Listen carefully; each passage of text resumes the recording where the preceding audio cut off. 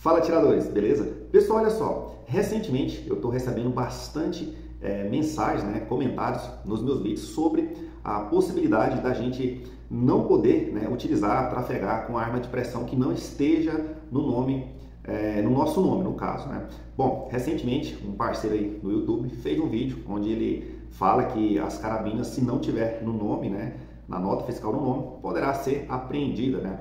Bom, de acordo com a Colog, né, 02, que é a vigente ainda, isso não é de fato o que acontece na prática, tá? Bom, pode ter acontecido em alguns casos aí, mas nunca se sabe como foi de fato, se estava com o número correto ali na nota fiscal, se estava de fato com a nota fiscal, pode sim ocorrer a apreensão, mas a Colog, pessoal, 02, vou mostrar daqui a pouco para vocês, que está é, vigente ainda, né?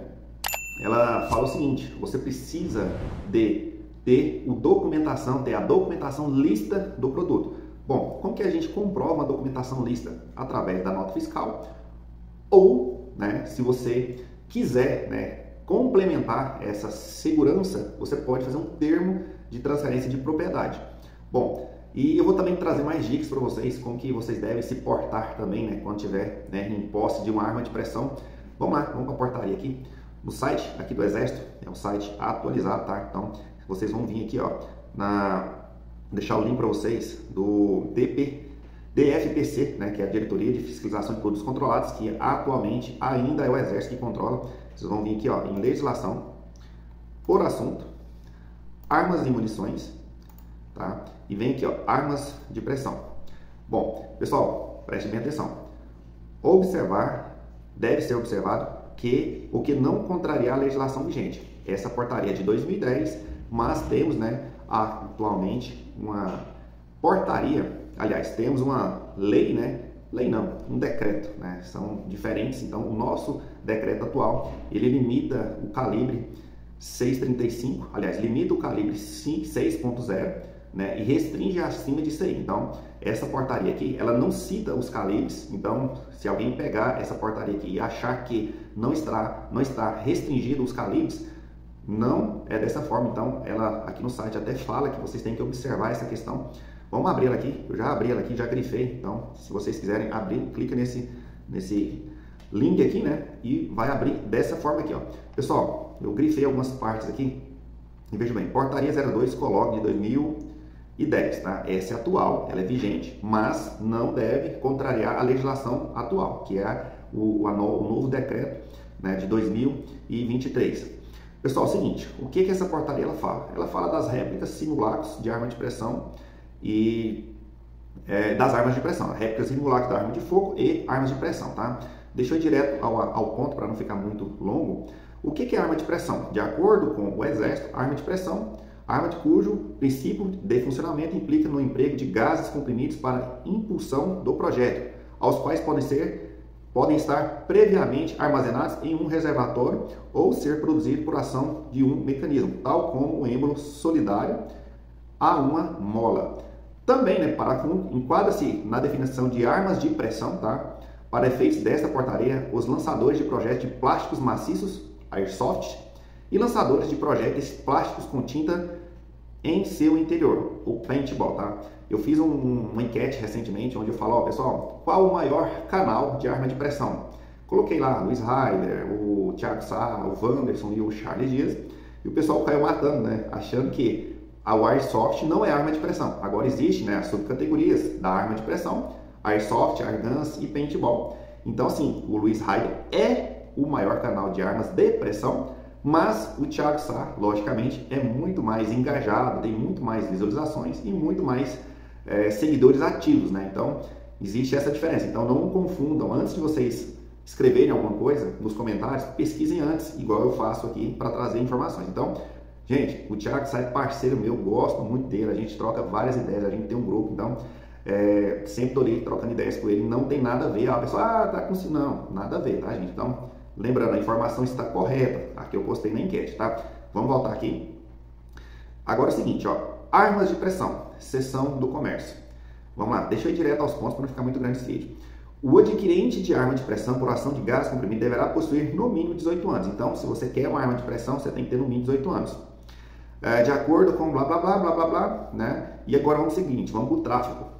O portador de arma de pressão por ação de mola de uso permitido, lembrando que agora a gente tem categorias uso permitido e uso restrito, então para uso restrito não temos nada definido na nossa legislação, não definiu nada ainda, então eu aconselho vocês não portarem, não trafegarem com armas de pressão acima do 6.0, tá? Até que normalize a, a portaria, vai surgir uma nova portaria, ainda não surgiu, mas antes de surgir, brinca só em casa, evita barulho, evita chamar atenção, ou leva para o sítio, deixa lá, tá? Então, não está proibido o comércio, mas está proibido o tráfego e o uso em locais onde era permitido antigamente, tá? Então, calma lá, vamos, vamos esperar que logo vai se normalizar, tá?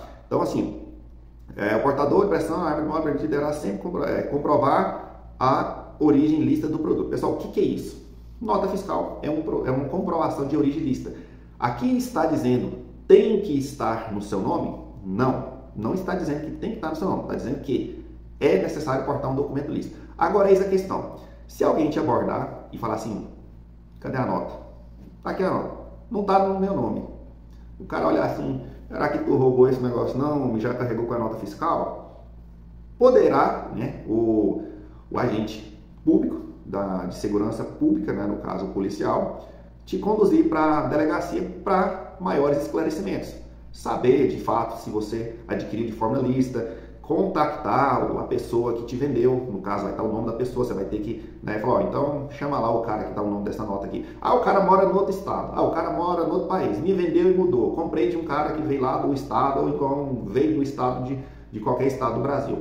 Tá, para isso, para evitar essa situação, pode acontecer do cara ver a nota fiscal e te liberar, mas pode acontecer da pessoa falar assim, vamos para a delegacia, vamos resolver esse problema lá.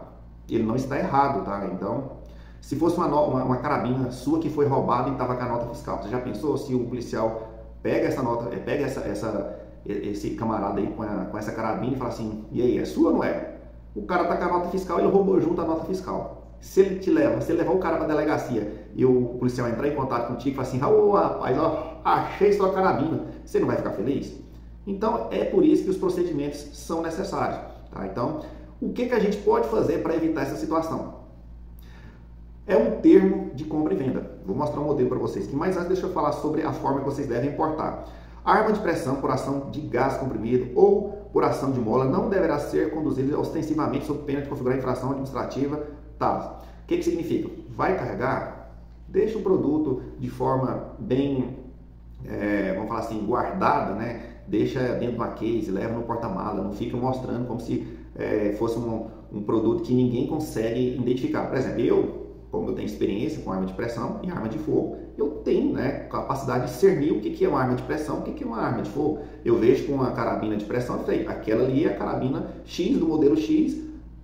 Assim, agora, um leigo não tem capacidade de discernir. Então, se você tiver com arma de pressão exposta ali, o que, que ele vai fazer? Polícia, 190, com certeza. Então, vai né, te trazer problemas. Então, para evitar situações, faça isso. Outra coisa que muita gente não sabe, mas poderá sim ser é, agora, a partir de agora, ser fiscalizado, é isso aqui, galera. Armas de pressão por ação de gás comprimido ou por ação de mola tipo airsoft, fabricadas no país ou importadas, devem apresentar uma marcação na extremidade cano, do cano na cor laranja, fluorescente ou vermelho, vivo, a fim de distingui-las da arma de fogo.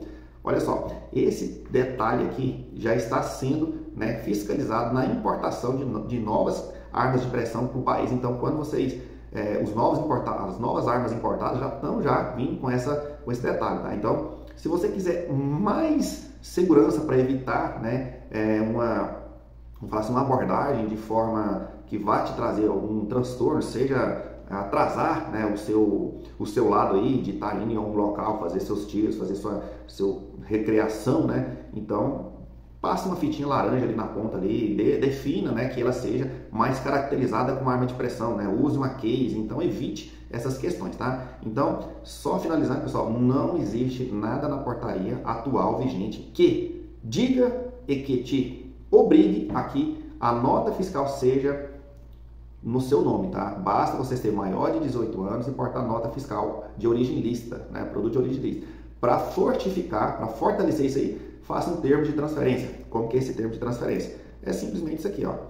Eu, fulano de tal, CPF, residente, domiciliado, tal, tal, declaro para o benefício que dia transferir minha propriedade, arma de pressão, Qual é arma de pressão? Qual é o número de série? Para quem? Para o fulano de tal, CPF tal, tal, residente domiciliado, blá, blá. O que, que eu defino nessa porta, nesse, nesse termo aqui? É, o número de série, a, a marca, o modelo, o acabamento, o calibre, o tipo de funcionamento, o país de fabricação, o número da nota fiscal e a chave da nota fiscal. Assina, coloca aqui, vai no cartório e registra e está tudo certo. Vamos supor, por que essa assinatura em cartório? Por quê? Porque se você assinou no cartório, que vendeu para alguém, significa que você tem ciência que você assinou um documento que transfere uma carabina para outra pessoa. Automaticamente, a assinatura de cartório é a comprovação lista do produto agora que é seu, beleza? Então é isso aí. Gostou do vídeo? Dá o like, se inscreva no canal aí. Tchau, obrigado.